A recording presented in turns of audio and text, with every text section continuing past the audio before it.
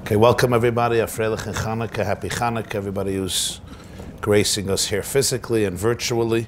Today's class is dedicated by a dear friend, Sidhaarth Radhakrishnan. In honor of Sam, Ari, and Jim, thank you, thank you very much, Siddhartha. May God bless you in your journey and thank you for your friendship and love and dedication and partnership. It's also dedicated by Reb Nochum Litkowsky and his family in honor of his father's yahrzeit on the 19th of Kislev, Reb Shimon ben Yisrael, his 51st yahrzeit, and for a blessing for the whole family in all that they need. B'toich Klal Yisrael, thank you so much. There's a beautiful tradition about Hanukkah that's quoted in one of the very famous svarim known as the Roikeach, Rabbi Lezer Roikeach, who explains the number of candles that we light during Hanukkah when you combine all of the flames, all of the candles, each day adding one, of course. So it comes out to be 36 candles. Because you have one, and then the second night two, and then the third night three, etc., all the way till the last night eight. Altogether, it comes out to the number 36. Which means, since we don't just light, the Gemara says that basically the halacha of Hanukkah is you could light one candle per night. Those who want to be Mahadir, every person lights one candle. But then, Mahadrin Mina Mahadrin, the best way to do the mitzvah, which became the accepted norm by all Jews, is to increase each night one more flame according to Beis Until the last night, we do eight. So altogether, it makes up the number 36. What's the significance of the number 36? The significance is as follows. In, in Parshas Bereshis, in the, in the opening story of creation, the Torah says the first thing Hashem created was light. Bereshis bara lakimus hashemayim v'sar. It's in the beginning when Hashem created heaven and earth. It says the earth was void and chaotic, and there was darkness everywhere. Vayomer elakim yihi ur vayihi ur. Hashem said, "Let there be light," and there was light. And then it says he separated between the light and the, and the darkness. Light became associated with day, and darkness became associated with night. And this was the creation of the first day. So the Gemara in Maseches Chagiga, page 12, asks the question.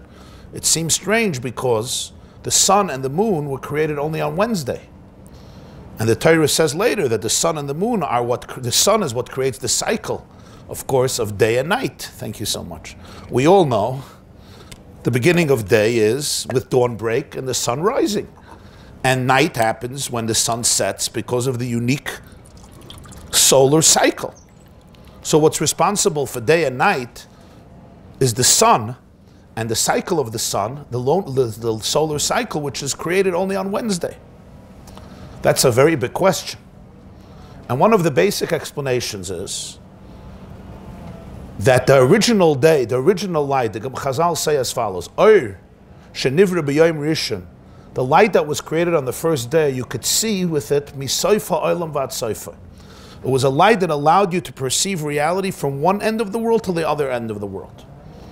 And then when Hashem saw the various generations of humanity, the, the generation of the flood, the generation of the tower, he decided he has to hide this light. So Gunzai, he concealed this light until the Asad Lavi, until the time of Mashiach. So Vayara Lakimis Arki Toiv, he saw that light was good. What mean? And what happened? It was, so to speak, too good, too intense, and therefore it went into hiding. It didn't disappear, it went into hiding until the times of Mashiach when it's going to be revealed. Which is, of course, a very strange idea, which needs explanation. Because if you don't want to create the light, don't create the light. You create the light, then you say, you know what? it's not really good for this world, so we're going to hide it. So you hide it now. What was the Havamin? What was your thought? What was the conclusion? What's the purpose of this light? What's the significance of this? But this is that light. So it's not the same light that's generated by the sun, which is amazing, the light that's generated by the sun. Uh, two seconds of electricity that comes from the sun to earth on a regular from the from the ordinary sun on a regular day, I think is more than all of the usage of electricity at any moment in the entire globe. That's two seconds of the power of the sun coming to earth, that electricity, how powerful it is, how potent it is. So that's incredible, that's amazing. But that's not the light that allows me to see from one end of the world to the other end of the world. That light was created on Yom Rishon on Sunday. And that was the first creation. Why was that the first creation? Only to be hidden and eclipsed and concealed until Mashiach comes. The Zohar says, where did he hide it? You always need a hiding place. Where did he hide the light? Huh? so the Zohar says, Vehechem ganza, he, he hid it in the Torah. There's a story about the Baal Shem that there was somebody who uh, came to him. He was a businessman in Breslau, Breslau in, in Prussia, in Germany. And he had a bunch of oxen, and he lost them. And this was the source of his livelihood, like the story in Tanakh, you know, when, uh, when Shaul's uh, father lost his donkeys, and they went to the prophet Shmuel to find where the donkeys were. And in that journey, he was also coronated as king. So the story is this fellow came, it's brought in Sfarm, the fellow came to the Baal Tov, and he asked him about his oxen in Breslau. I'm sorry, the person came to the Baal Shem Tov and he was looking, he lost, I stand corrected. A person came to the Baal Shem Tov, he lost his shvarim, he lost his oxen. He was looking for them. So the Baal Shem Tov opened up a chumash, he took a look, and he said that the oxen are in Breslau. They ended up, the sleeve took them to Breslau. That's where they are. So they asked the Baal Shem, that's so, so it was. So they asked the Baal Shem Tov uh, if he could see, why did he need a chumash? He looks in the chumash, how do you see where the oxen are? So he answered, because it says in Zohar that the original light was hidden in the Torah. So when he opened up the chumash, he could see where the oxen are. Now you might say it's a little bit of a strange way to use this light to find out where oxen are, but you see already Shmuel Hanavi was consulted, where Shaul HaMelech's he wasn't yet a king, where Shaul's father's donkeys were. So the Baal Shem Tov told him, these were the oxen. What, what is the meaning of all of this? Now, when Adam was created on Friday, that oir, Chazal say, that oir, that original light of the first day was available to him as the first human being. And therefore, it says, Lamed Vav Shoiz Shim Our sages say that light served Adam for 36 hours. Friday is 12 hours. Friday night is another 12 hours, that's 24 hours. And Shabbos day, which was another 12 hours, so 24 and 12 is 36 hours. Uh, Adam had access to that light on the first Shabbos of creation.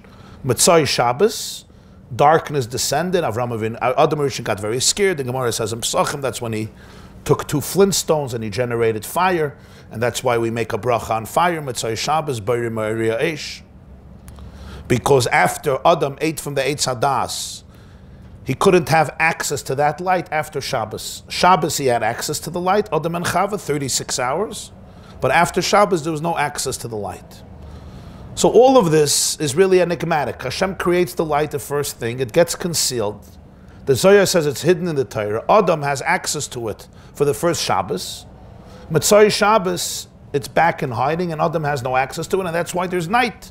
You don't see from one end of the world to the other end of the world, not by day, and by night, you, it's just time of darkness. Comes the Rekeach and says that the 36 candles of Hanukkah represent the 36 hours of that original light serving Adam on the first Shabbos of creation. So each one of these 36 flames over the eight nights of Hanukkah represents another hour of those 36 hours. And explains, and in many Svarim, that Chanukah, the lights that we kindle, are the Oir HaGanuz. This is what it's called in Svarim, Oir HaGanuz, which means the light, Ganuz means concealed, the light that was hidden. The light that was hidden on the first day of creation, and it's going to be revealed only when Mashiach comes, something of this light is manifested in the Chanukah flames. It's brought that to, it says in Tehillim, David HaMelech says, Zora, what's the expression? Um, can I trouble you for a Tehillim over there? That, that's safe. Thank you, thank you. In Kuf Yud Beis, Zarach b'choshech or la'yesharim, which means he shined in the darkness the light for the righteous ones. So it's brought in Svarim that this refers to the lights of Hanukkah. Erla Yisharim is the light that's reserved for the righteous one. Hashem reserved this light for tzaddikim, v'amech kulam tzaddikim when Mashiach comes. But already in the darkness, even before Mashiach of Galus, Zarach b'choshech, Hashem in the darkness gives something of that light, of that shine. That light of la'asid la'avai is already sowed and planted and shines in the darkness of exile through the lights of Hanukkah. And that's why it's spirit, we say in Aneris Halalu, one of the deeper explanations that v'chol kodesh ve'ein lanu rishus l'ishtamish behen. We don't have the right or the permission to use this light, only to look at these lights. And that's why there's a custom and a tradition in so many communities to sit by the candles and look at the flames. Some people learn at the Hanukkah candles. Some people sing, some people tell stories, some people daven, say Tehillim, some people just gaze, gaze at the flames. As somebody once said, how do you know that it's a good thing? Because you see how much resistance there is to it.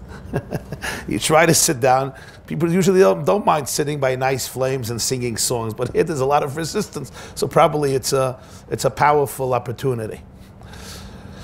What's this idea that I don't use it only l'oisan bilvat? Because it's a unique type of light. It's not a light that I should be using to illuminate my room or my chamber or the dining room, the living room, the whatever, wherever the person is lighting the Hanukkah candles. L'oisan bilvat, to be able just to look at it.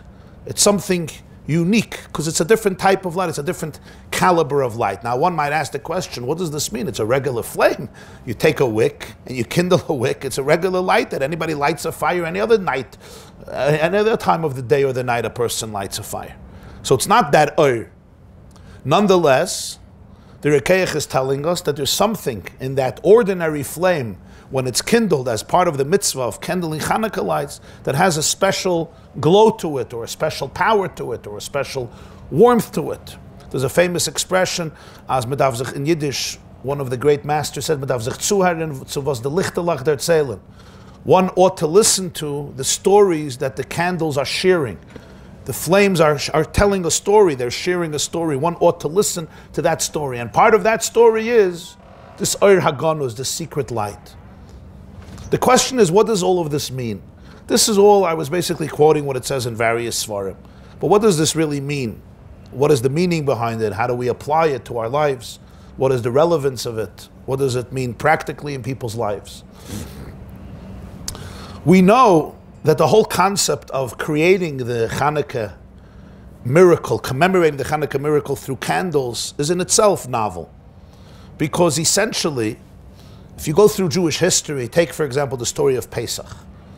Story of Pesach, what do we commemorate?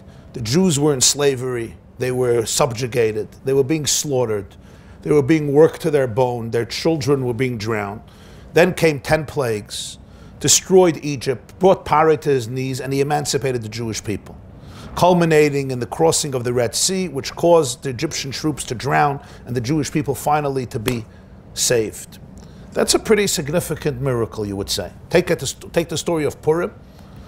Haman planned almost successfully a holocaust against the Jewish people in which every single Jewish man, woman, and child would be wiped out and decimated in one day. And remember, Achashverosh was in full control of all communities and cities and countries and, and uh, regions where Jews lived, so there was no, nowhere to escape. There was no other government where Jews were. So every single Jew would have, Khalila, been exterminated. And instead, what happens is Haman is hung on the gallows and the reverse is another, and the and the decree and, and, and the king gives a new decree the Jews can defend themselves. And Haman's 10 children, 10 sons are hung on the gallows, and everything is transformed. Pretty powerful miracle. If you look at Hanukkah, what happened? There was a military victory of the Hashmonaim against the Syrian Greeks troops, which was an incredible, an incredible success story because naturally, based on the laws of military campaigns, they should have been they should have been unsuccessful. It should have been a, a dismal and colossal failure. But they were not. They were successful. They, they were not defeated. They were successful, as we say in Alanissim, Masar to Geborim v'yad chalashim, v'rabim b'yad ma'atim. The strong were conquered by the weak, and the many were defeated by the few. But the main celebration of Hanukkah was not for that.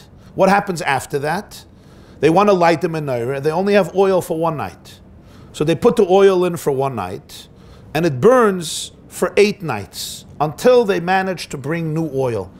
Either they had to travel and squeeze olives and get new oil from Tekoa, it would take seven days, or they could make new oil, but everybody was impure, so the oil would become contaminated. It took seven days to purify themselves. It's two different explanations, but the bottom line is they wouldn't have lit the menorah for eight days, and now it, lust, it lit for it was kindled for eight nights because they had enough oil. Now I want to ask you a question. Compare it to Pesach. Compare it to uh, to Purim. How great is that miracle? Let's say it wouldn't have happened. Let's say the oil would have burned for one night and the next night they wouldn't have oil. So what would have happened? Nothing. They wouldn't have lit the menorah for seven nights until they would bring new oil and they would start lighting it. It would be a footnote. It would be a footnote in the story. The miracle, it's a beautiful miracle, it's a lovely miracle, but it doesn't seem very consequential. Yeah? You know, the, the mice with Herschel Ostropoler was a famous letz. He was a poor man. He would go around collecting money and he was very, very funny. And the story is that he went to somebody and uh, the person said, Again, you're coming? He says, Listen, if you don't give me a nice nadava, yeah, I'm going to do what my father did. The guy was terrified. He gave him a nice contribution. He came to the next house, I need food. Go to the shul. If you don't give me, I'm going to do what my father did. And so he went every house. Finally, somebody asked him, What did your father do? He says, My father went hungry. So I'll do what my father did. So, what you wanted to say something? You can ask. Right.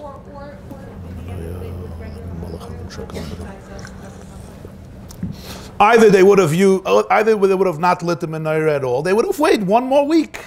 Listen, they weren't lighting the menorah for a while. It's not like they were lighting it. They weren't lighting it. The Greeks took over. They ransacked the Beis Hamikdash. They had Jews slaughter pigs to uh, to the to the to Zeus in the Beis Hamikdash. The whole place was violated and desecrated. They couldn't light the menorah, so they would have waited another week. you know, once you're trying to build your house, right, and renovations are going, if you ever dealt with a contractor, right, and you wait another week. It's nice to have a week earlier. It's not like if this miracle wouldn't have happened, history would have been changed, the Jews would have not been saved. In fact, the military victory seems much more significant. But the Chachamim didn't establish the commemoration based so much on the military victory. We're thankful for it, we're grateful for it, we mentioned it in Al Nissim, but the main celebration of Hanukkah is Hallel and the lighting of the candles, which again, it's a very beautiful, it's a shmak, a miracle that it happened. But they could have either used contaminated oil, even if they wanted, didn't want to use contaminated oil, they could have because there's a halacha called Tumah Hutra B'tzibur, which means when most of the community is impure, you're allowed to do the avodah in an impure fashion, even if they didn't want to, so they would have waited another week for pure oil. Nonetheless, this miracle becomes the profound component, the profound expression of Hanukkah. Somehow the Chazal understood that this captures the essence of the holiday. And in fact, this is a concrete celebration that we do even more than for the military victory. So this is a big question about Hanukkah, and it's been discussed over the generations. And one way of explaining it has to do with this light that we're talking about. The Ur Haganu is the hidden light. What is this hidden light that the Chazal were talking about? And why was it created the first day? If it's anyway not going to be used, at least if you create it at the end, you don't want to use it. You know, you create it at the beginning, so it's like almost the the beginning of any everything, the genesis, the root, the origin, the progenitor, and then Gonza, it's going into hiding. And remember, it wasn't hidden after there were people, after the generations. Hashem hid it. It was hidden right, right away the first day. Gonza. It was only available the first Shabbos of creation, and then again it went back into hiding, so it wasn't even available for Adam afterwards, for Adam Arish. So the best explanation I ever got for this was from an email that a woman once sent me a number of years ago. This was a person who is a person who lives in Brooklyn. And uh, she once shared with me a story by email.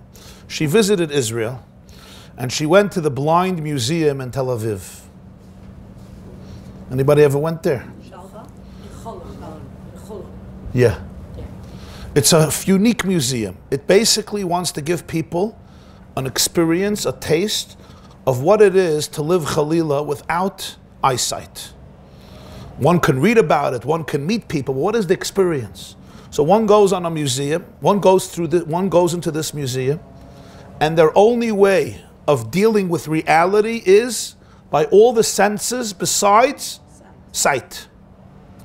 And you know, we could think about it, we can imagine it, we can anticipate it, but until one experiences it, not only for five seconds, but for hours and hours, they can't really understand what it is. And then think about somebody who lives for decades in such a condition, or sometimes their entire life, if they were born without sight. Khalila. So this woman writes to me her experience. She was one of a group of six being led through the museum, and of course, you have a guide who has to reassure you and comfort you and give you confidence and guide you. And this person who was the tour guide, she said he was incredible. He was just so interesting and so engaging. And she asked him about his background, and he said that he was born blind. And this is how he grew up, and this is what his whole life is, and that's why he's a guide in this museum. Who's who's better person to guide people in the blind museum? And she writes to me, she says, I never met such a person. First of all, his intelligence his candidness, his vulnerability, his depth, his humor. She started to describe all the adjectives about him, his graciousness, the way he spoke to us, the way he spoke to every person, the way he shared with us about his life. He really opened me up to a new world and a new reality I never knew about. Anyway, we're going for hours following his lead. It was, she said, a transformative experience.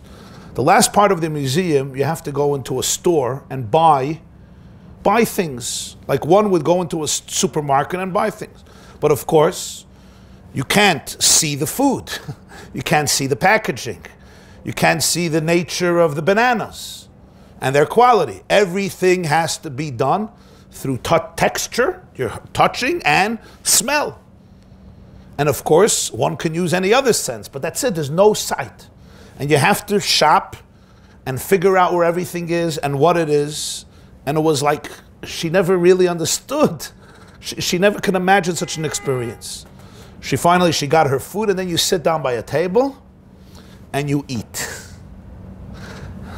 As they're sitting at the table, she says, At this point, I was so tense.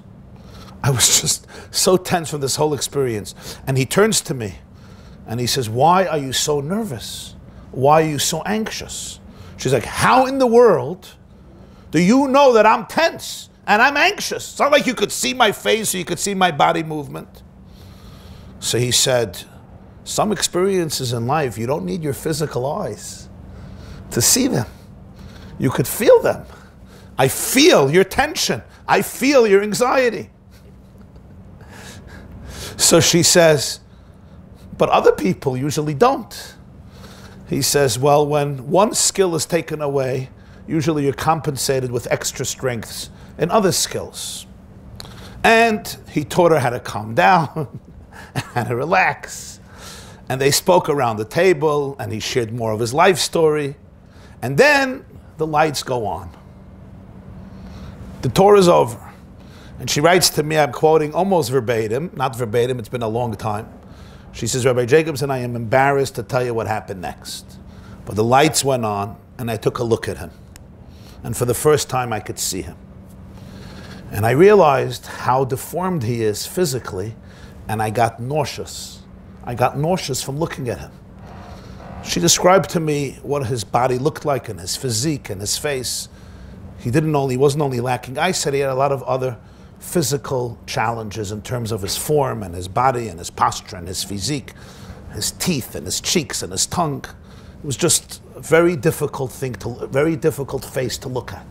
And she said, I had to avert my eyes, and I was so ashamed of myself because throughout the journey, I was thinking what an incredible person this is, and now I couldn't even look at him. And then she writes to me, and then I realized as long as my eyes were closed, I could see him. The moment my eyes opened up, I couldn't see him anymore. All I saw was external features. I didn't see the person anymore. As long as I wasn't looking with my eyes, I saw the person. because my eyes were closed. It was pitch dark. I couldn't see. When I could see, I stopped seeing. All I saw was the most external layer of a person's reality, and it made me so nauseous and disgusted. And she shared with me this experience, and I guess I don't know what she wanted exactly for me, but it was a very profound moment. And then I realized why at special moments in our lives we cover our eyes. When you say Shema Yisrael Shem Elokeinu Hashem you cover your eyes. What's wrong with seeing? You light Shabbos candles, you cover your eyes. Other moments of deep intimacy and connection, sometimes people bless their children, they'll close their eyes. Why are you closing their eyes? Under a chuppah, the Kala's eyes are eclipsed. What's wrong with seeing? Shouldn't you see what's happening? Everybody else is looking around. Rivka, when she meets Yitzchak that first moment, the Badekanish, Vatika Chatzoyev, Vatiskas. We don't want people to see. The idea, of course, is that there's two different types of seeing. Because there's two different types of light. One is what we call physical sight, which is one of the most incredible gifts in the world the ability to see, the ability to see reality. And you probably know how many things have to happen in the eye in order to give us that physical ability to see. Today, when they build fighter jets with 4,000 cameras, they try to replicate the human eye and it still doesn't even come close. You're talking about millions and millions of optic nerves that have to converge in the womb of the mother to be able to develop the eye, such a sophisticated, dazzlingly brilliant mechanism like the eye is it's unheard of, it's unprecedented. The greatest engineers today can't come even close to replicating it, despite the major advancements, advancements in human technology. And that's just the eye of a person. So the eye is literally, you know, and we make a blessing every day. Baruch Hashem Ivrim the fact that I can open my eyes and perceive and behold reality. Yet, those eyes, as amazing as they are, sometimes have access only to the light that allows me to see physical reality. What is the Urshan Nivra B'Yom Rishon? The light that was created the first day is not just the light that allows me to perceive reality from an external perspective. It allows me to perceive the inner meaning of reality, the depth of reality, that which is on the inside, not only that which is on the outside. Because a person could live in two different worlds. I could live in a world where the external becomes a manifestation of the internal, or I could live in a world where there's a gulf, there's a split, there's a dichotomy between the two. Once heard from a rabbi, a couple came to him and uh, the woman was complaining that he's not there for her, that she's not, that he's not there for her, and the husband said, "I don't know what she wants. I take out the garbage, I clean the Shabbos table, I do as many chores as I can. Whenever there's a problem in the house, I fix it. I clean up at this point." And her response was, "I didn't marry a handyman." What was the argument? what was the debate here? What didn't he understand? Imagine if a husband and a wife they're married, and she asks him to do something, he asks her to do something, or the, the other way around, and he takes the ksuva, and he starts reading. He says, "Sorry, this is not in the contract. I don't have to do it. It's not in the contract." And he says, "I'm just following the obligations. I'm doing everything technically that I'm obligated to do. What's missing?" What's missing is what's missing is the light. what's missing is the oir, the inner energy, the inner connection that can't be articulated in a document. I can write out in a document all the obligations, but I can't put in as an obligation what's called emotional intimacy, emotional connection, deep loyalty and trust. Not because you could talk about it, but it's not something that's expressed itself in one action or another action. It's expressed itself in all actions, or it's not expressed in any action. What's the Nivra B'Yom Rishon? What was that light that Hashem created? Why was it the first thing? The reason it's the first thing is because the Nivra B'Yom Rishon is simply the ability to be able to perceive the full reality of everything as is. without blockages, without cover ups, if the doors of perception were cleansed, everything would appear as is, which is a manifestation of the infinite. Because everything in the world is really the divine energy that animates it, that creates it every single moment. Just as we know, if we had microscopic eyes, so to speak, every reality would appear differently. Because when you look at something through a microscope, the same reality appears to you, but with much more nuance and depth.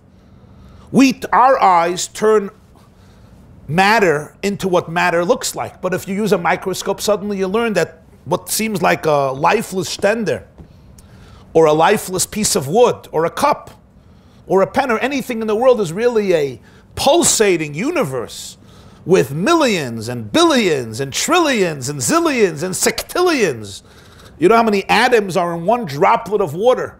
And each atom is made up of subatomic particles. And each atom is made up of the nucleus of the atom. And the electrons revolving around the center of the atom with incredible speed.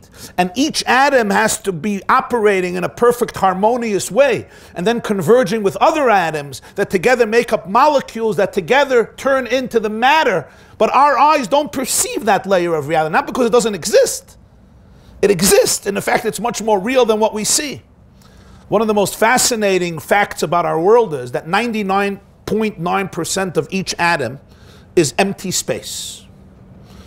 That means, think about this, if you take all the matter of our planet, all the physical matter of our planet, it could fit into a suitcase. The whole Gashmias of this world can fit into a suitcase. It's not an exaggeration, it's the true reality. So you say, What are you talking about? My eyes don't say that. My eyes can't deal with such small entities. So my eyes take the empty space and eliminate it, and it turns into a stender. I don't even see empty space here. When your eyes are trained to develop in deeper ways, the same reality you perceive in a different way. It's not that it's a different world, it's the same world. The question is what I see in the world. If I open up a piano book, and I see so one person sees just black lines, what you call musical notes. They don't know how to read notes. Another person starts smiling and they start humming the tune. They both saw the same reality. But one person sees within those notes, they perceive the music. They can start hearing the music. The same is true when an architect walks into a home. What does the architect see? So in every reality, there's the Oir Haganos, the deeper layers of reality which are there. The question is, what kalim, what containers do I have? What does my retina grasp? You know, there are colors that none of us perceive. Birds perceive them. Not because the colors don't exist. There are sounds that I can't hear. Dogs can hear them. Not because those sounds don't exist, but because simply the frequencies are one that will not be detected by the retina of my eye and interpreted by my brain. So what do I do? I say it doesn't exist. So what's the definition of existence by me? The definition of existence is that which is compressed and compacted and defined in a way that my brain can interpret it and access it and give it meaning. That's called existence. What if it's something that I don't have the kalim for its existence. I don't have the containers to detect it. What do I say? It doesn't exist. For thousands of years, nobody thought there's something called a virus. Right? But we know viruses exist, unfortunately. Nobody knew there's such a thing as a virus. Nobody knew there's germs. Nobody knew there's bacteria. Nobody knew there's a cell. Nobody knew there's atoms. Nobody knew that there are genes. Do genes not exist? Somebody once asked me, a teenager was to me and he said, You know, for me to believe things, I have to see them. If I don't see them, I don't believe them. I said, let me tell you where science is holding in 2021. Okay? Here's how it works. I'm talking about from a secular perspective. In science, we know something that you see probably doesn't really exist. Existence begins on levels where you don't see, right? Genes, DNA molecules exist. You'll never see them.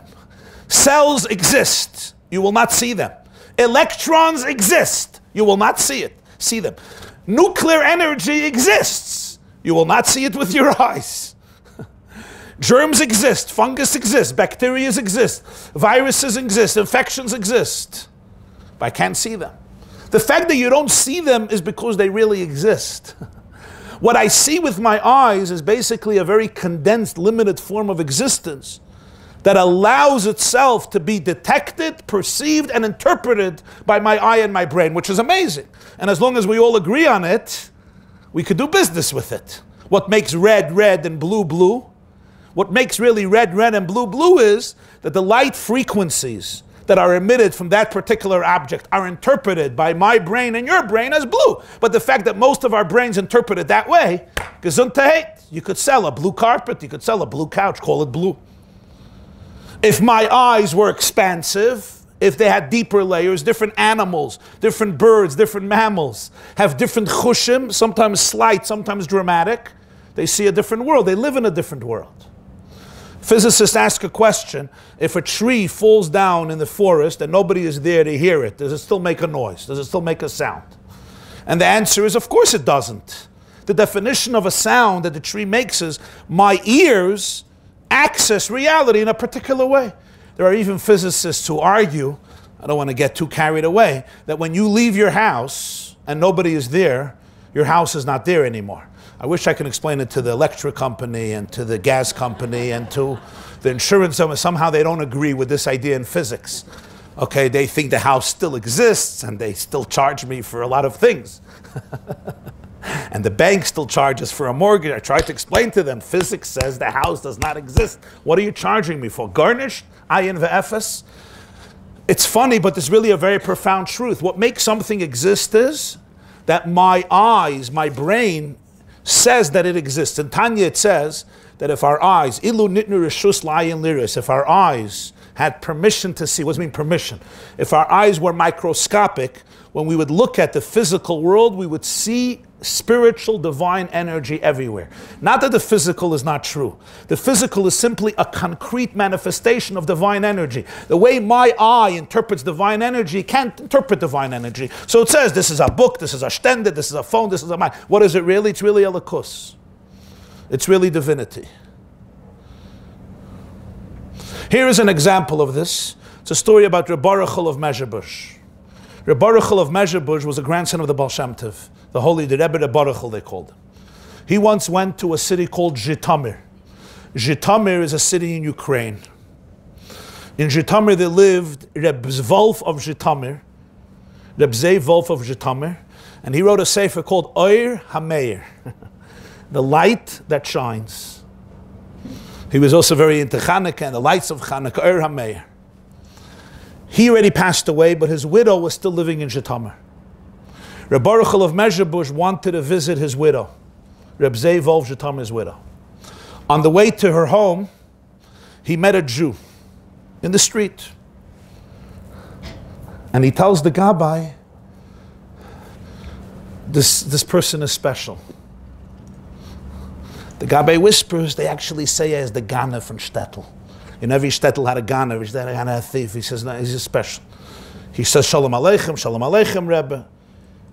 And Reb Baruch says, by any chance, do you have a son who needs a shidduch? He says, yeah. Reb Baruch says, and I have a daughter who wants a shidduch. And I think it would be an incredible opportunity. And the man says it would be the biggest chus in the world. So the Baruch says, let's go right to Noyim. Let's go right to Noyim. Rumor had it and people came over to the Baruch, they just said, you should know that this guy you don't want to do a shidduch with. He's the thief of the shtetl. He's Pashtaganav. In fact, a few years ago, something happened. There was a rule in Zhitomir, the governor, the mayor of Zhitomir, had a rule if somebody steals, they humiliate him publicly. This guy, a few years ago, they caught him. He stole from another family. What do they do? They put you on a wagon.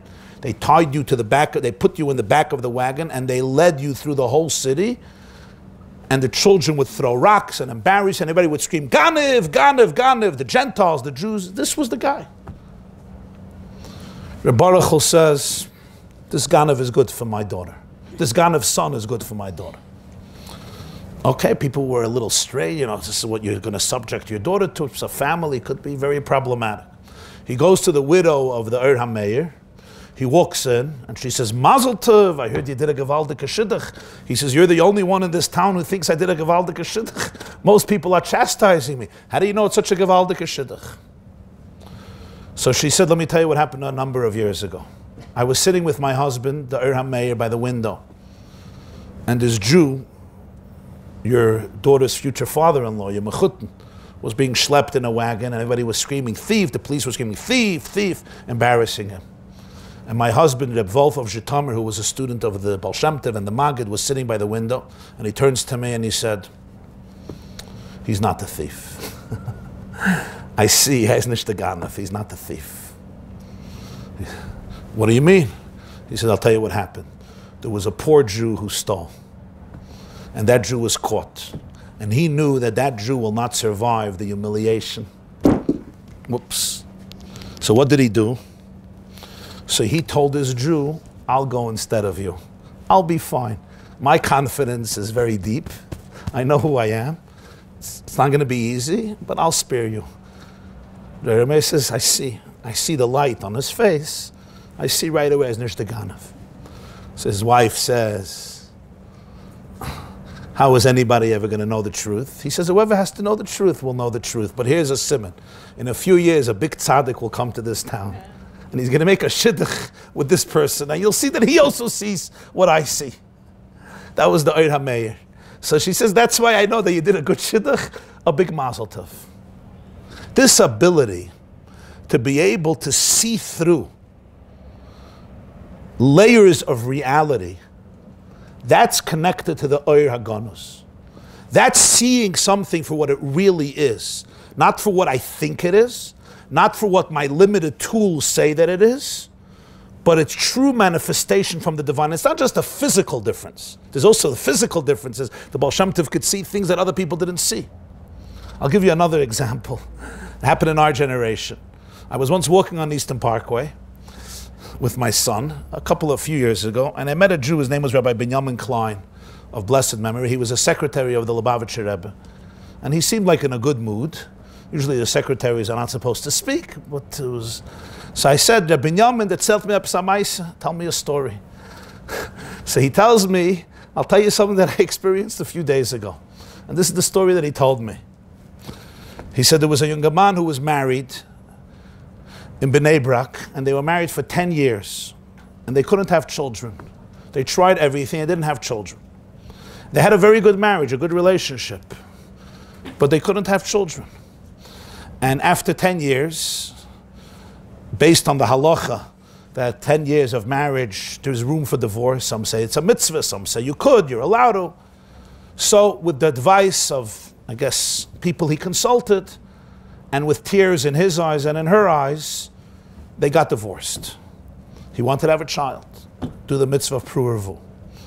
Now, you know, there are tragedies and there are tragedies.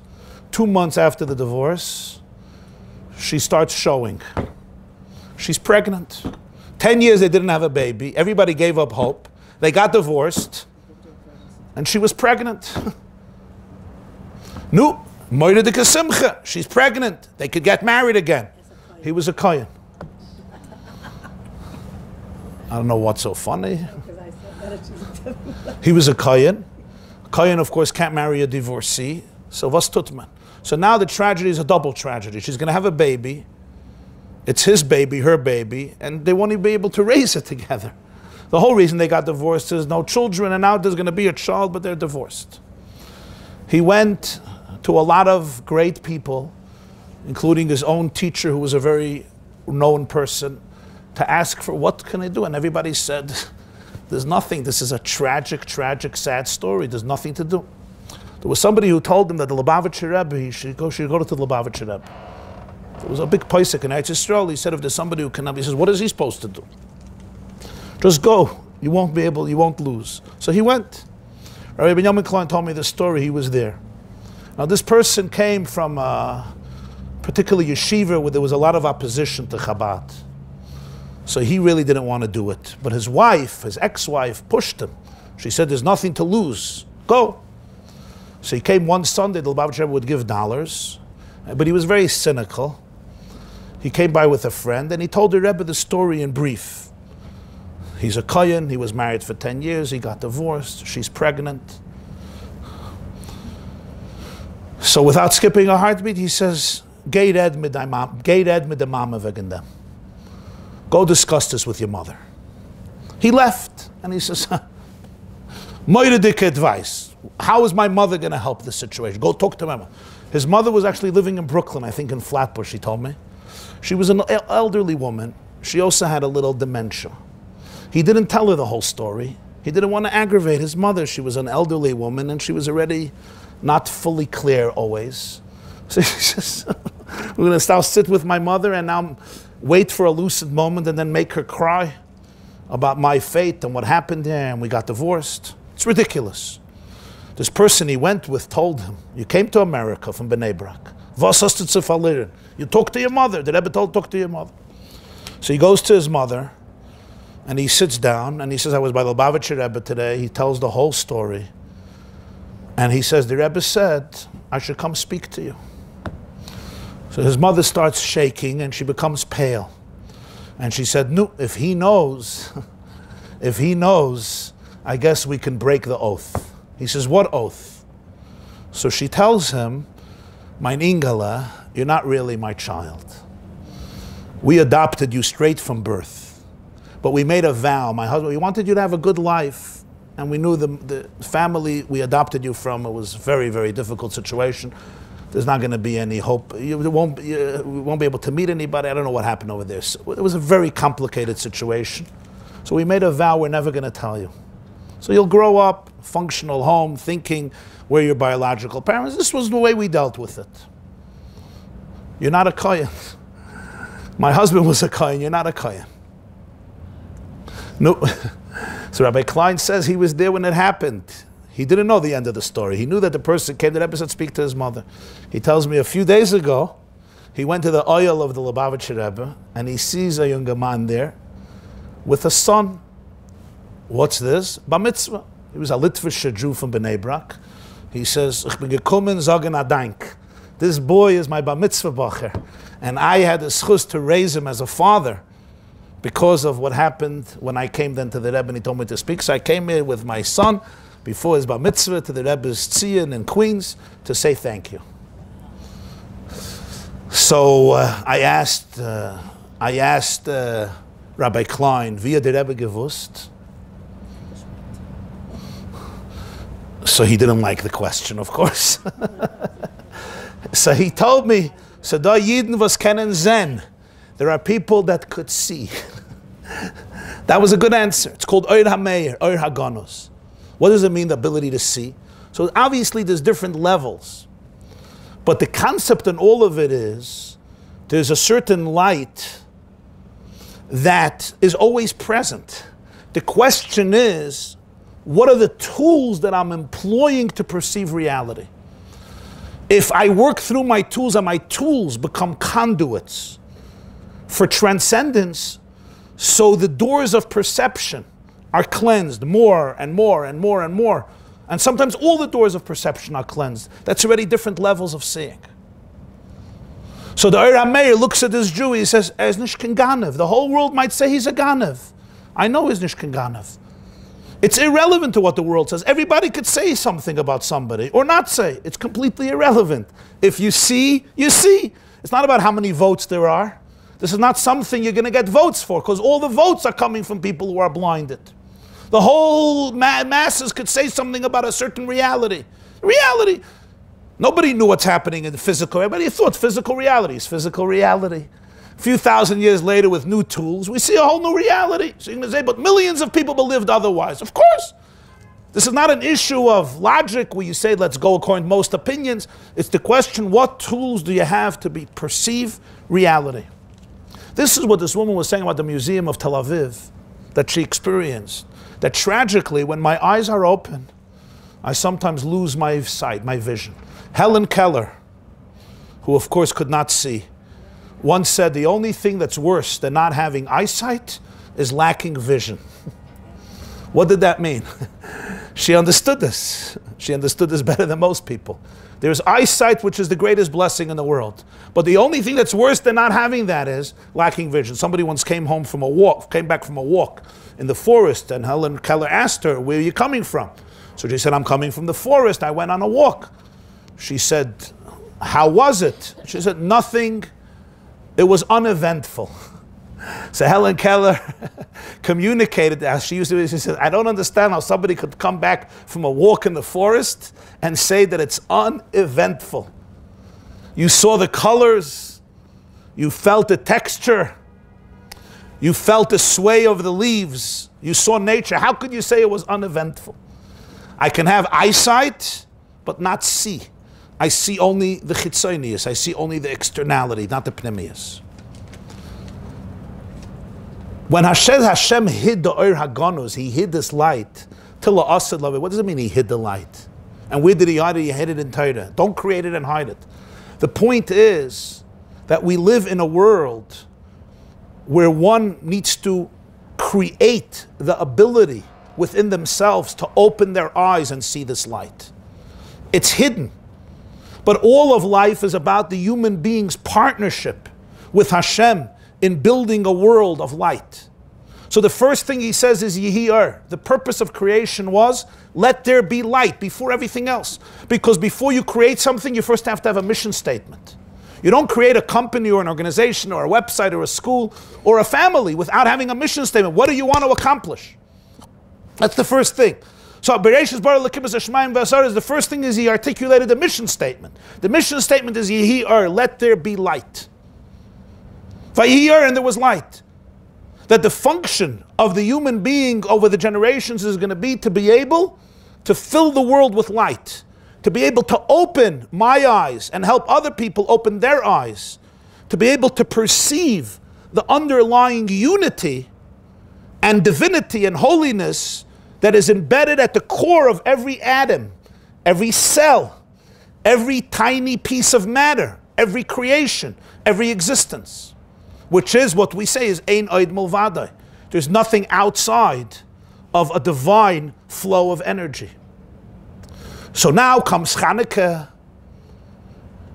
If you look at Hanukkah, what happens is the story of Hanukkah was a story in which Jewish history was already experiencing a major decline. Alex- this is the second Beis Hamikdash, did not have the miracles of the first Beis Hamikdash. Alexander the Great was still kind to the Jews, but once he died and the Greek Empire split up, and generations later comes an Antiochus, and now suddenly Jewish existence is experiencing extraordinary upheavals. The Hashmonaim fight a guerrilla war for years, and the guerrilla war was successful. But it's not like after this war everything was good. For 25 years the wars went on. And when the Hashmonaim finally got independence, it didn't last long. Ultimately, the Romans took over another 100 years later, and they ultimately destroyed everything. And furthermore, even the Hashmonaim itself, the family, the original Hashmonaim were great people, but their children and the grandchildren fought bloody civil wars. There was infighting, and there was a terrible, it wasn't an easy era. It was an era of a lot of concealment. What did the oil show the Chazal? What did it show them? You say, what would have happened if the Menorah wouldn't have burnt for eight days? What it showed them was that there was something, there was a light here that was present within the story. There was an Ur Haganus, the presence of Hashem, within the entire story that could never be extinguished. Chazal say on the pasuk v'choshech, the beginning of creation, v'haaretz ha'isasayu v'vayu v'choshech al pnei Choshech refers to Malchus Yavan Shechshicha Einayim Shal Yisrael.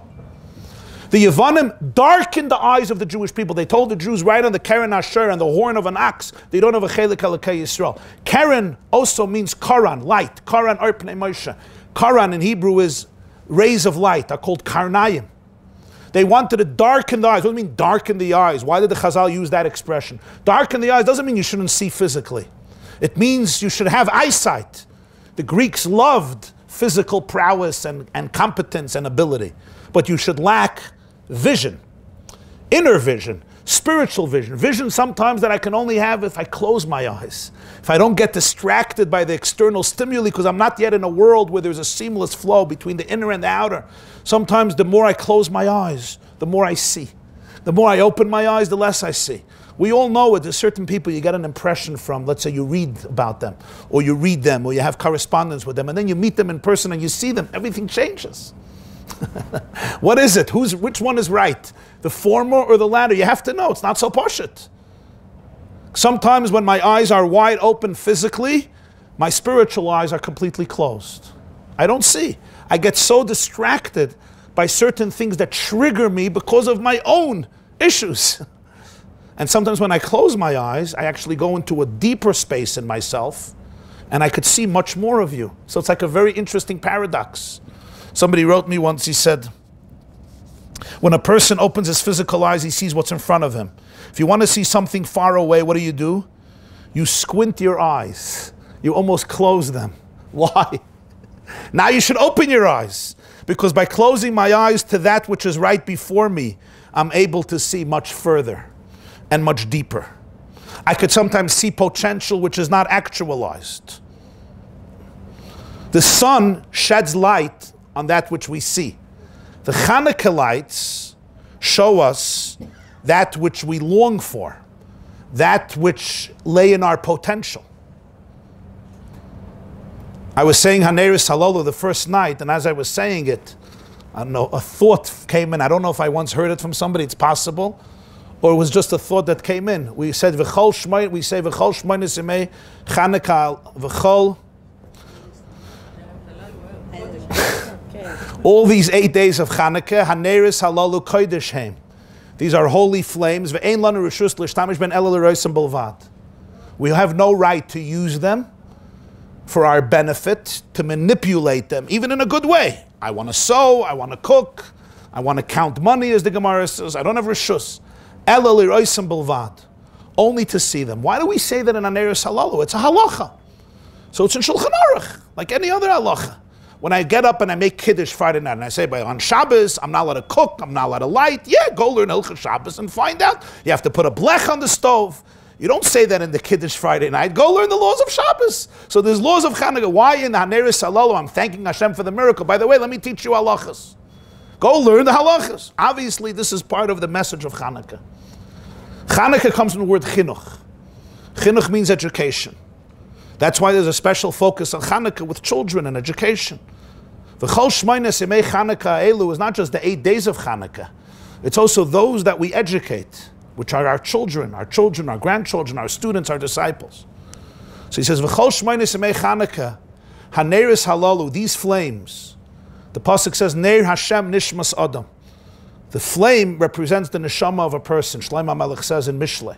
Neir Hashem Nishmas Adam Chayfes Kol Chadre Voten. The soul of Hashem is the, the, the, the, flame of Hashem is the soul of a person which sees, which searches all the inner chambers of the womb. Chayfesh also, this Fasem says, comes from the word chafshi, chafesh. It liberates all the secrets of the womb. It takes out all the secrets. So v'chol shmayna simei Chanukah. Haneris halalu, these flames, these neshamas, kodesh we come to realize how holy they are.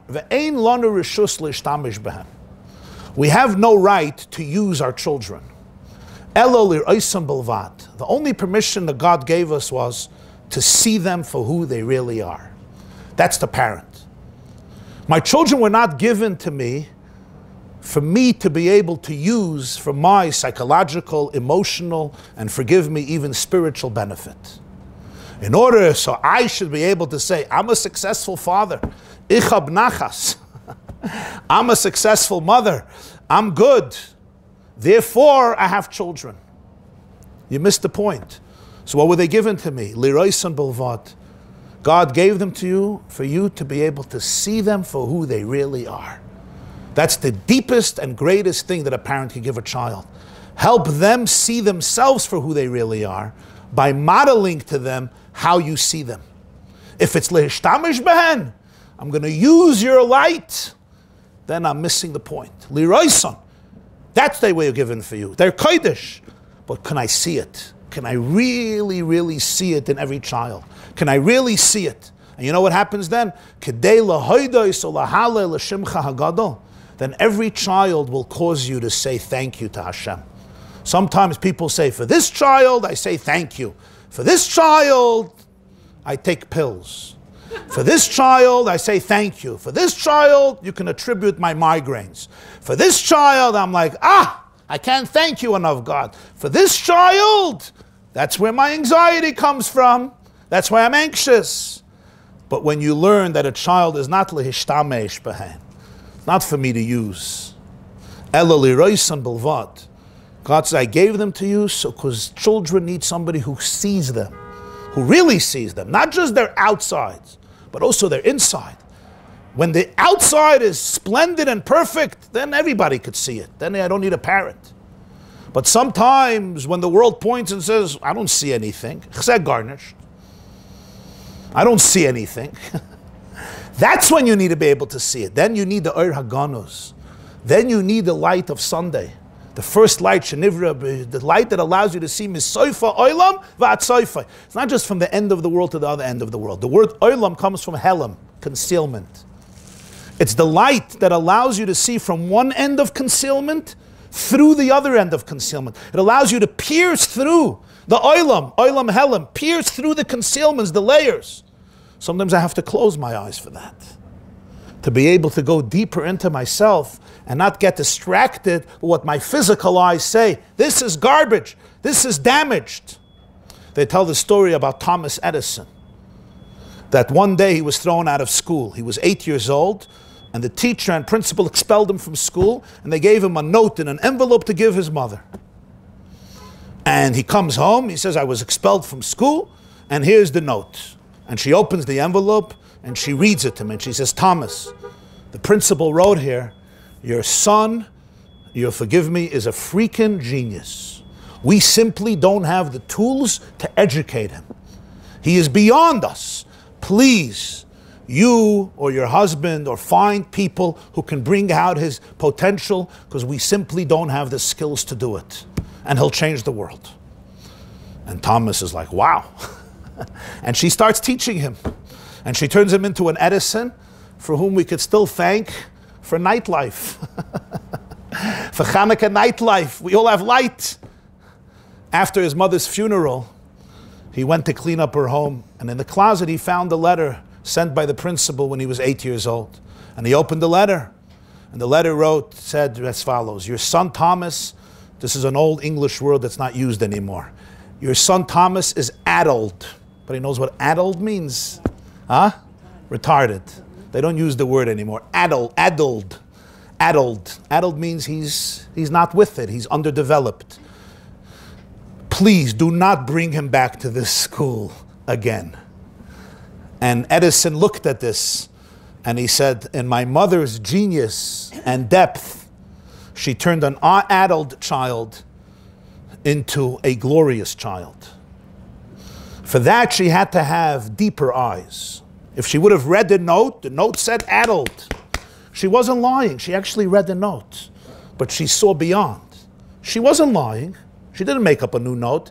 She was actually explaining to the principal what he wanted to say, but he didn't know how to say it. Huh? She translated it for him. In his mind, this kid is adult. It's true. Those are his tools. You don't fit into this box. You're adult. She said, Let me just explain to you what it means. It means you don't have the kalim to see this child. I do. So let me tell you what this true this child is. And she, by seeing that in him, he could see it in himself. Somebody sent me a clip the other day. He was sitting in sixth grade and he would look out the window. In, in, in Yiddish, they used to call it uh, a gecholam tagansen tag. They dreamt all day. He was looking out the window. And the teacher tells him, he's sixth grade. He says, by looking out the window all day, you're going to accomplish nothing. Nobody is ever going to pay you a salary for looking out the window all day. You need to study, you need to learn. He says, Today I'm a pilot. I get paid for looking out the window all day. That's what they pay me for. And I love it. Was the teacher right? From his perspective, I'm giving a class, right? You're looking out the window. You're a failure. But some people need to look out the window. They don't belong within a room. They belong in the air. What do the headlines say? The heavens is our home, right? Some people, they live for okay, they live outdoors. They can't be confined. I once heard a lecture from somebody. It was so, so, so simple and so profound. He said he had this instinct, this proclivity in class, already first grade, second grade. He would drum, bang on the table, agansatag, and it drove everybody crazy for good reason. The teacher and all the students. He said he would get expelled every single day, go to the principal's office until you could calm down. They tried to help, they were nice. Finally, one day, the principal calls him in and says, Listen, this can't go on. If you want to be in a classroom, you can't just do this a whole day. It's not working. So he says, What should I do? He says, Take both of your hands and sit on them. Just sit on them, right? Great advice. So he did it, and it lasted for like 45 seconds. You know, sit on your hands all day, right, for seven hours. 45 seconds, and then.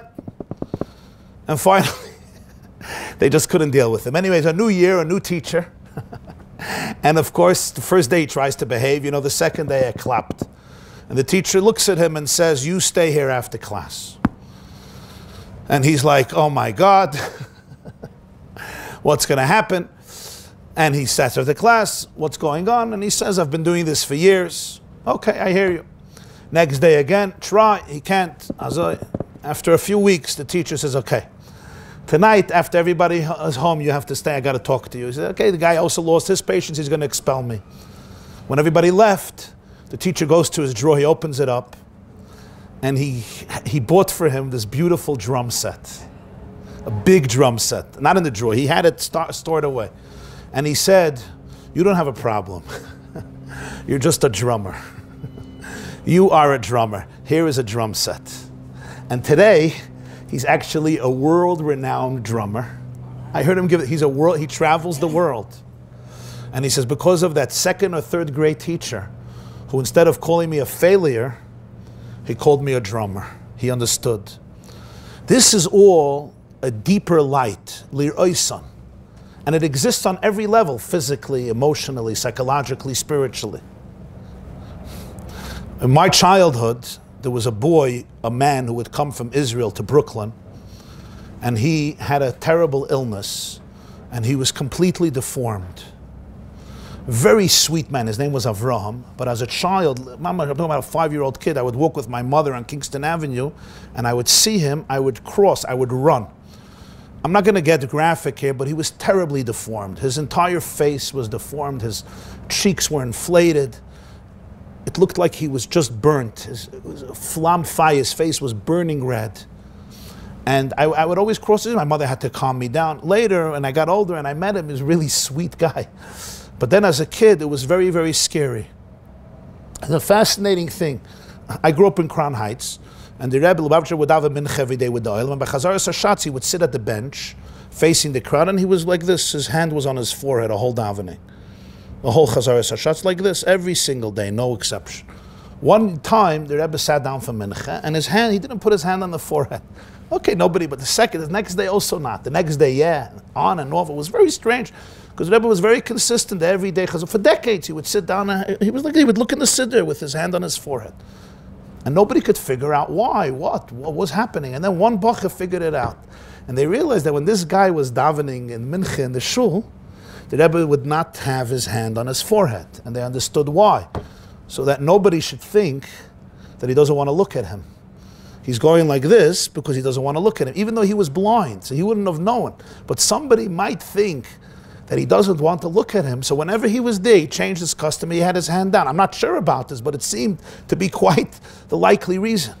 Sometimes I can get so distracted by externalities, whatever those externalities look like.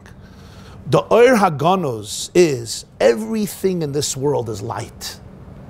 If I can't see it, it's because my tools are limited. Every child is infinite light. Every person is infinite light. Sometimes the light is very deep, it's hidden.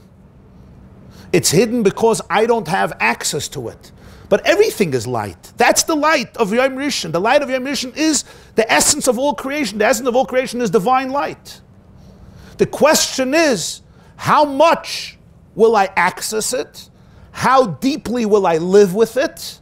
And how much it could become part of me. And the only way that can happen is if I discover that light inside of me. Because if I discover that light inside light allows me to see that light everywhere. It allows me to see the light in you. And that ability is always to perceive the underlying reality. And it's true even in Hanukkah as well. There was a Slonimer Rebbe, Rebbe Avremeler, Rebbe Avremeler Slonimer. And uh, it's a very powerful story. It was Friday afternoon. You know, Friday afternoon, Hanukkah, there's a lot of, uh, I don't want to say anxiety, but pressure. Huh? It's a short day. It's a short day, and as, as prepared as you are, you're never prepared, right? So you light the candles, there's Hanukkah candles, Shabbos candles, Läuft in Shul, it's a Lebedik. And you left the latkes to fry, you don't want them to burn. It is usually, it's Lebedik and Freilich, right? And the one who was supposed to bring the wine forgot to bring the wine, so there's no wine, there's no challah. Your neighbor also doesn't have wine, whatever. One of those days. Ah, it's for Shchaydish, noch besser. Noch besser, okay. So Rabbi Avlam Eslaname, he was very into lighting candles, and they prepared the menorah, and it was right before Shabbos. He would light, his wife would light Shabbos candle. They would start Shabbos. Pung then, then you know you would make the wicks, uh, like some of you still do with cotton. It took a long time. Didn't just buy ready-made stuff. A child, his baby child, was actually murdered in the Holocaust, ran and tipped over the table, and the whole menorah went flying down the oil, the wicks. whacked. He took and he realized that to get it back ready to light for Shabbos, it's not going to happen. His wife had to light Shabbos candles, it was Shabbos. He didn't light Hanukkah candles. And he said these words, the selber Eberste, was hat geheißen sind in Hanukkah Licht, hat euch geheißen, mir soll in Kaas werden auf the Kind.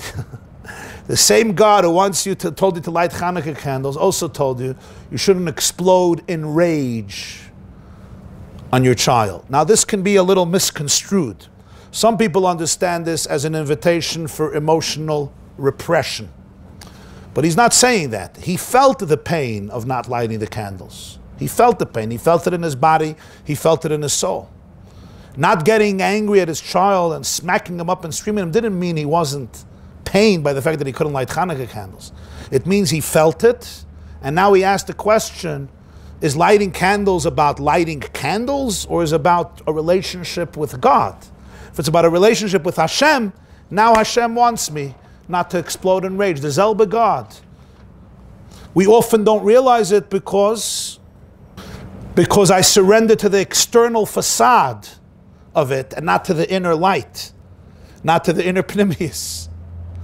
It's a very different concept when you tune into the pnimius of the mitzvah. Of course, I want to light the candles, but he tipped over the menorah. So what happens now? Do I lose everything? Some people they don't worship God; they worship the religion. I didn't light the menorah. Oh yeah, yeah! You destroyed my Hanukkah. You destroyed my. If I'm going to destroy you, what's that about?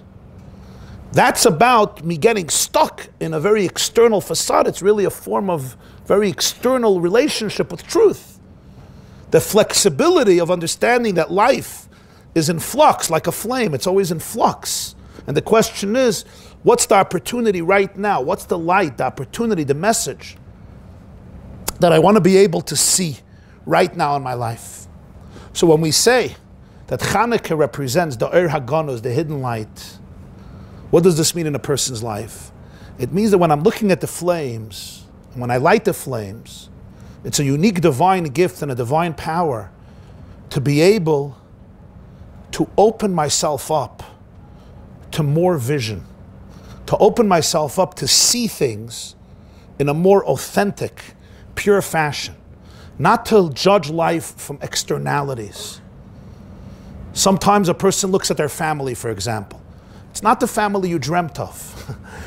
it's not the Hanukkah. I was in a house, and uh, so somebody tells me that, you know, something you ever see they make these. Uh, these uh, ads. So they have a beautiful family sitting around the Shabbos table, you know, a husband and a wife, everybody's dressed to kill, and like eight kids sitting in their place, and the table is beautiful.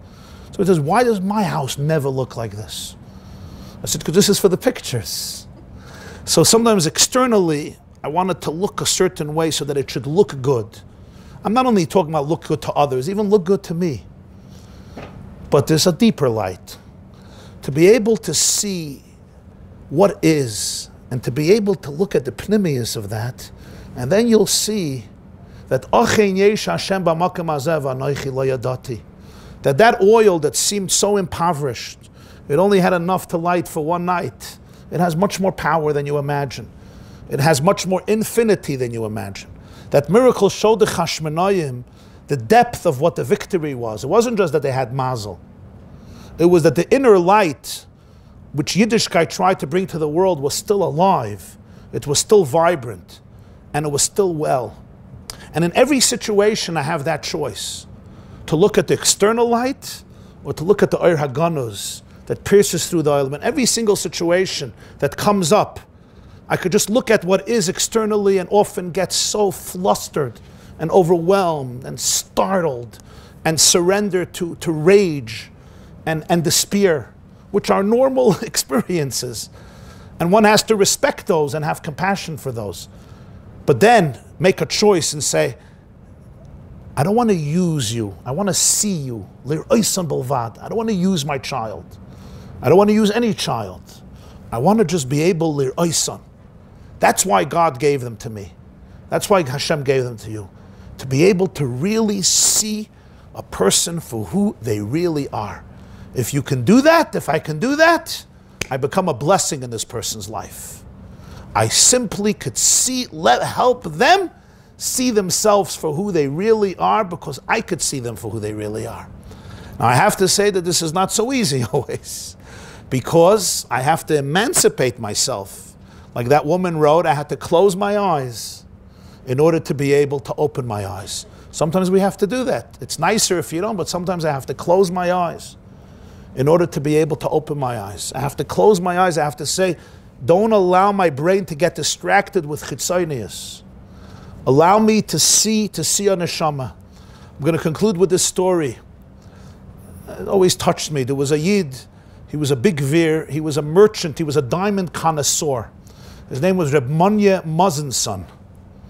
And he was a, a, a Talmud, a student of the fifth Chabad Rebbe known as the Rebbe Rashab. And every year he would come for Yom Tov and he would bring him a beautiful diamond as a gift to be able to give each. The Rebbe should have to give for tzedakah for whatever causes he wanted because it was his most expensive diamond. Like this was his tzedakah, he would give it every year to the Rebbe to use for his charities.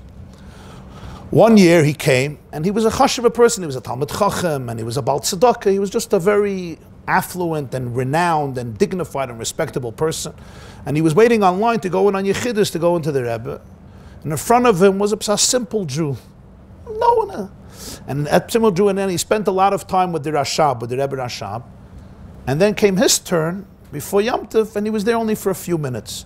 And he felt very slighted because Mela the Rebbe doesn't have time, there's a lot of people, but this person, who's far simpler and less literate and less accomplished, he gave so much time. So he had this grudge inside of him. He didn't say anything, but he had, you know, huh? He felt it. He felt it, yeah. He, he could. It was. He was just upset. After Yom Tif, he came in with his diamonds, and he said, "This year, this year, Rebbe, ich the best and the chance to have the best. He puts down the diamonds and he points to one of them and he says, This, something special, 50,000 ruble. So the Rebbe, the Lubavitcher Rebbe, the Rashab looks at the diamond, they cooked, they cooked. Ich spitzel. I don't see anything special. He says, Let me tell you how to look at a diamond. and he turns it out. You have to look at this. The Rebbe looks and looks at this. I don't see anything. So he gives another tutorial how diamonds work and what you look for. You know, experts, they tell you what to look for. So you ever go to a wine connoisseur and they tell you why it tastes good and this is the best of the best. And he was trying to do this and the Rebbe keeps saying, I'm sorry, I don't see anything unique. So finally, in frustration, he says, Rebbe, medav maven. You have to be an expert. This is my... Uh, this is my vocation. You know, with all due respect, Medav Maven. The Rebbe smiled And he said, Reb Manya, und auf Neshamas darf. On you also have to be an expert. So you're telling me not to mix in to your business. I'm telling you, when it comes to Neshamas, Medav Even. Have a beautiful and bright Lichtek and Chanukah to all of you. Thank you.